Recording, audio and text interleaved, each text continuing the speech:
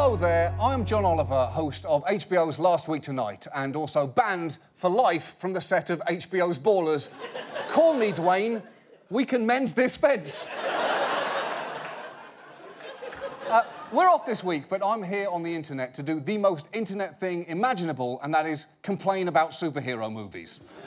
Every year, the market is flooded with movies about superheroes. Just this year, uh, blockbusters included movies ranging from Mean Spider-Man uh, to Sad Man versus Super Sad Man uh, to The Insane Clown Posse Takes Manhattan. now, now, each of these movies have their strengths and weaknesses, which I will not go into because I would like to feel the touch of another human at least once more before I die.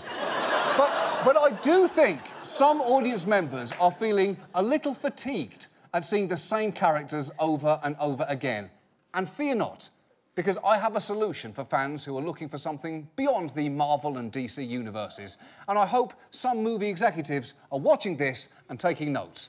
Because, ladies and gentlemen, I present to you next year's summer blockbuster, Johnny Strong. Now, now, you may notice that drawing is a little amateurish, and that is because Johnny Strong is a character that I created in fifth grade. By day, he is mild-mannered fifth grader John Olivier, no relation. but from the time school lets out until dinner, he becomes the, let's say, unconventionally handsome hero, Johnny Strong. Johnny Strong is a kick-ass hero with a bad attitude. He's seen a boob and he knows what the F word is.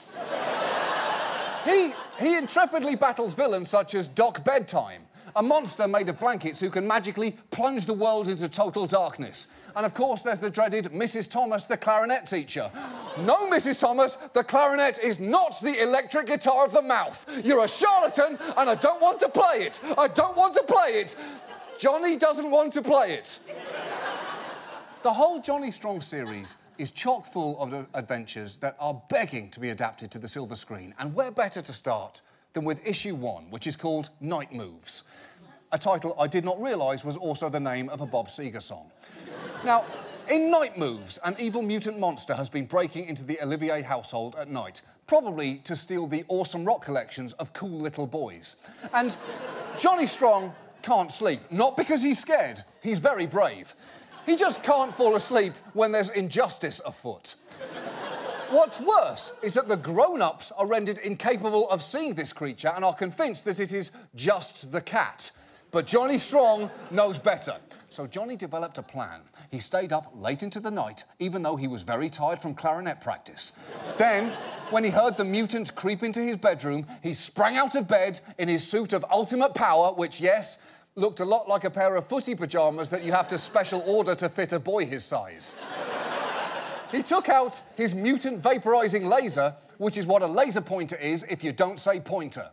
And he chased the mutant down the stairs. The beast let out a terrified meow, which is what mutants do when they're scared, and recoiled from the laser's mighty beam. Johnny Strong chased the mutant out the front door, which he propped open with a rock in a move that, as an adult, I admit was probably unsafe. Then he shouted, Be gone, mutant! which woke up his baby sister, who started crying, probably tears of joy, at hearing that justice had been served. now, is Johnny Strong finally celebrated as the hero he is?